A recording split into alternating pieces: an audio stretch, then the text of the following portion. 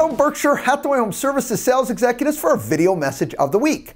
All right, this week's message, I'm going to stop our normal series for a very important message.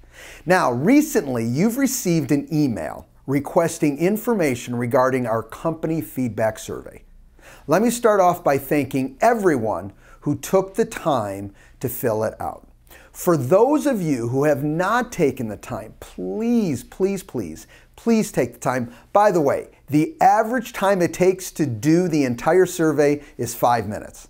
So I know you can find five minutes to fill out this survey. Now, I wanted you to know how important it is, and there's a few key reasons. One, your viewpoint, the way you see the world, and your insight is extremely important for me and this organization as a whole to understand.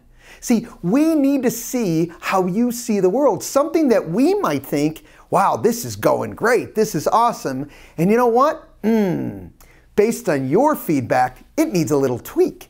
So please take the time to fill it out. You know, I talk about always, virtually every message about always, you know, looking to get better. We're never done growing and changing. Well, guess what? As a company, we're never done growing and changing, and we need your feedback to be the best that we can be. So, today's message if you haven't already filled out the survey, we're going to resend it out one more time, and it needs to be completed by uh, Friday, which is June 17th, end of business. That's where we're going to close it out and start reviewing all the feedback. And I promise you, I will be reading over every single one you put in, and not only me.